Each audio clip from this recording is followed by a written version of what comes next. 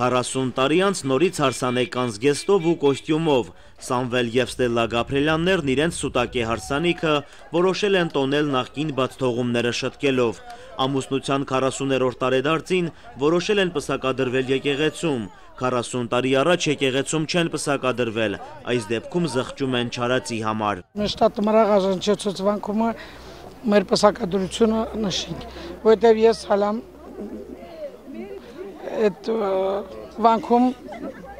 լաշչումլի, ոզալամ վանքումը նշենք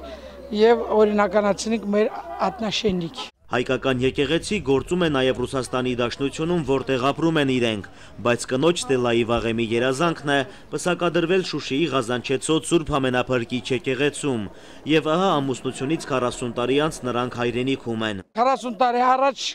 իդի թույլտվությունը չլալ վեր կյանք, ինքն էլ պարտիականալ, պես չընթողալ։ Ամուսնությունից 40 տարի անց կյանքը միայն սկսվում է։ Սամվել Գաբրելյանն ասում է, հիմա ընտանիքն ավելի ամուր է, եւ այն ամուր է անցած ճանապարհով ու համատեղ կյանքով։ Ամուսնությունից 40 տարի անց Սամվել եւ Ստելլա Գաբրելյաններն արդեն նոր ու հետաքրքիր պարտականություններ ունեն։ Պարտականությունն լրիվ կատարված է, հա, լրիվ կատարված է, հիմա թորիկներ են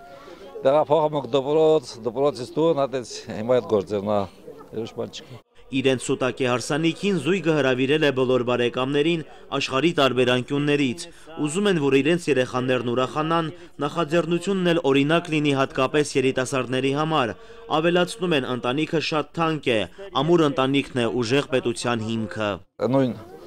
ուժն է, նույն ցանկությունն է, որ կարողանանք մեր երեխաներին ուրախացնենք։ Սամվել եւ Ստելլա Գաբրելյաններն ամեն տարի լինում են հայրենի Արցախում։ Նրանց խոսքերով տեղափոխվել են հանգամանքներից ելնելով միայն։ Չեն բացառում, որ վերադառնան եւ ապրեն հայրենիքում։ Ասում են հակառակ դեպքում ճանապարհն այսքան բանուկ չէին պահի։ Նարեկ Սահակյան, Հայկ Բաբայան, օր